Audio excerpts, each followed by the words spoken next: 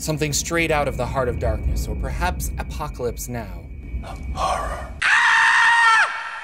Today we're going to visit the Tomb of Horrors, talking about its real life history rather than fantasy lore. What? Why is this classic adventure so important to D&D? Does it match your playstyle and should you play it? No, there won't be any spoilers for the tomb, but there will be pictures. Feel safe watching this video. I fully understand that the fun of the Tomb of Horrors is solving it. But first, this video is sponsored by Warlock Tiles from WizKids. WizKids makes some great D&D products, and this time they are launching Warlock Tiles. They've been working on these for over a year, and now you can get them in your RPG hands. These are fantasy game tiles with interlocking pieces, and they come pre-painted. Along with the tiles, various accoutrements are included to dress up your dungeon or tavern. You can pick up these warlock tiles and reassemble them as you see fit. You could potentially build the Tomb of Horrors. How epic would this iconic adventure be with the use of Warlock tiles. Click the link in the description to see more and to pre-order them. The Warlock tiles will release June of 2020. Head over to their website, wizkids.com slash warlock, which is conveniently linked in the description below.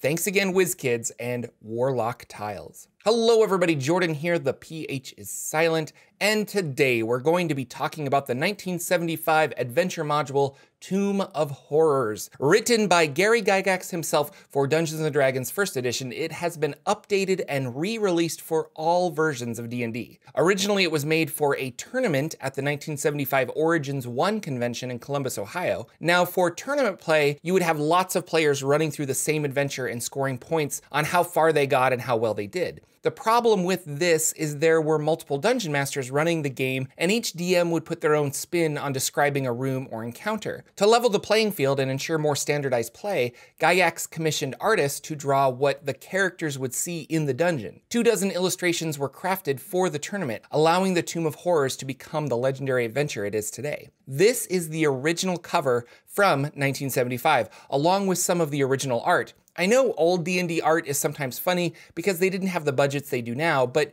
you can tell from these pieces TSR and Gary Gygax were onto something. Allowing everyone to have a similar experience with this dungeon allowed fans from across the world to share their Tomb of Horror stories with each other. This is rather clever. You could see some of the original art, comparing it to the art of other editions, and if you've played Tomb of Horrors, you know exactly what you're looking at. The Demilich skull, the devil mouth, heck, the layout of the tomb itself. This is pretty neat. The original dungeon drawn in pencil for the 1975 convention. I assume photocopied for each DM to run it. These photos are from the visual art history of D&D book that came out called Art and Arcana, which if you're interested in the history of D&D, it's worth a look. Gygax wrote Tomb of Horrors as a way for DMs to deal with the egotistical player, the player who boasts of having such a powerful character that they could deal with any challenge. Many believe Gygax didn't intend for the players to finish the Tomb of Horrors. The fun was in seeing how far you could get before a trap took out your party. Full of puzzles, traps, and curious items, it can be a very fun experience for both Dungeon Master and player. Gygax also intentionally made it sound very attractive to greedy players. The treasure hoard at the end of the module is very tempting, and if you can get there and back, you're coming out with some sweet magical items. What is the plot of the Tomb of Horrors? It is the ancient tomb of a lich, Acererak's tomb specifically. The Demi-Lich was made famous from the world of Greyhawk and lore-wise has found his way into other worlds. More information on him in the top right corner of the screen and in the description below. Your goal of the tomb is to survive and battle your way through it to locate the resting place of Acererak, destroy him and take his wealth. Later on, it became a place for Acererak to gather souls for his phylactery. If you die in the tomb, your spirit will keep Acererak functional in the world of D&D. It's kind of fun to think that thousands of player characters die every year in the Tomb of Horrors, and that keeps Acererak a constant villain within D&D lore. Tomb of Horrors is divided up into 33 encounters, and the majority of these are trying to trick the players. The adventure was written to mess with the people playing it, not necessarily their characters. The phrase, what would my player character do, doesn't really apply here. You are trying to outwit the module, solve the puzzles, and keep your player character alive. Gygax specifically wanted to thwart what he referred to as his invincible players, Rob Kuntz's PC, Robilar, and Ernie Gygax's PC, Tenser. Yes, that Tenser. It wasn't officially published until 1978 for Advanced Dungeons & Dragons, and since then has been rewritten and published for every edition of D&D. It was ranked the third greatest Dungeons & Dragons adventure of all time by Dungeon Magazine in 2004. It is almost a rite of passage as a D&D fan. If you played D&D for a while, the tomb always pops up eventually in conversation. You may want to test your druid skills in this challenging adventure. It should be noted that some feel the module is difficult for a DM to learn. There are a lot of subtle items that one must remember, more so than other free form modules where you can improvise and everything will be okay. Tomb of Horrors isn't about killing large amounts of monsters, but surviving a complex trap riddled game. A dungeon master needs to understand how these traps work and allow players to make their own choices. It has been described as a thinking person's module. Gygax said himself that brain work was good for players. Tomb of Horrors is a pop culture item now. The green devil face with the giant mouth can be seen on t-shirts, stickers. It was reused for parts of Tomb of Annihilation, the 5th edition adventure. The Tomb of Horrors was a key part of the Ready Player One novel. So at this point, you're sold, right? You want to play in or run this module. Just so you know, it might be a different style of game than you're used to. Players won't be making rolls to solve puzzles or find magic doors. They need to touch objects within the dungeon, and the DM might have to describe what something feels like. Your descriptions can make this module come alive. A good poker face is helpful when players activate a deadly trap. I would also remove the phrase, are you sure you want to do that from your vocabulary? If the player said it, they did it, and here are the consequences.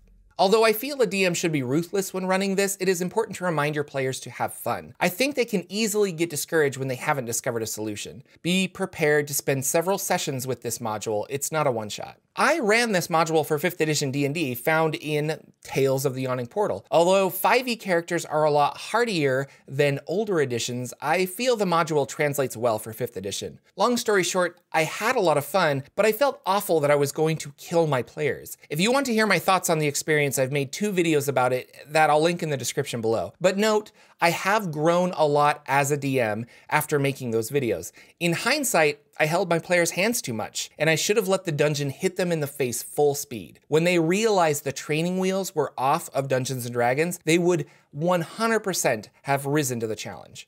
Regardless, we had so much fun, dying, exploring, trying to figure out exactly where the tomb was leading us. Although I never got a chance to play in the Tomb of Horrors, I feel DMs can live the experience through their players. The Tomb of Horrors is very memorable, and you have to remember that when you play in it, you can only have that experience once. I want to emphasize that. You can't replay the Tomb of Horrors and have that same sense of dread when you fall in a vat of acid. However, if you have played it once, I would encourage you to run it for a group that hasn't. Remember though, not everyone will love this adventure, but I think most DMs truly will. If your players enjoy the hack and slash of D&D, fighting their way out of a situation, then Tomb of Horrors might not be for them. When I ran this module, we made 10th level characters to explore the tomb. Nobody was super attached to these characters, which made exploring the dungeon a bit easier. If your gaming group wants to use their treasured characters who have grown from levels 1 to 10, Remind them there could be death. I believe this is an experience all fans of D&D should have, but I don't believe you should use this as a punishment for your players. Tempt them with magical items, tempt them with lots of money, but let it be their informed decision. The tomb has existed on many worlds, in many games, and few have lived to tell the tale. But hey, it's your game.